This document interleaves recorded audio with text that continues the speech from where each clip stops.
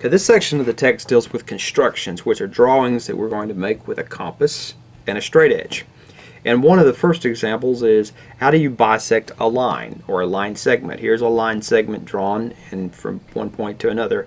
How do we bisect it? Which means how do we find out exactly where the middle of it is? Now obviously I can take this device here and I can measure the line and say okay it's a six inch line so therefore three inches will be the middle. There's one method to do it.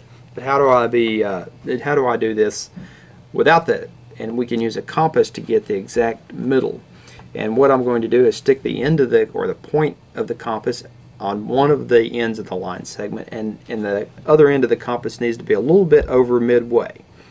And I want to draw an arc. And an arc is just a drawing with a compass. It's just what it says, it's an arc. And I'm going to now put this one on the other end and I'm going to draw another arc and these two arcs should overlap each other. And we see that. Now we see we have two arcs on a sheet of paper that overlap at this point and at this point. And so now if I take a straight edge and I come from this point to that point and draw a line through them, not a very straight line, but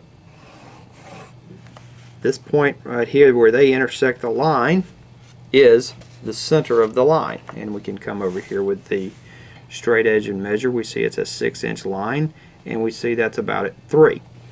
Uh, so that's how we find the center or the bisection of a line or how we do the construct it with a compass.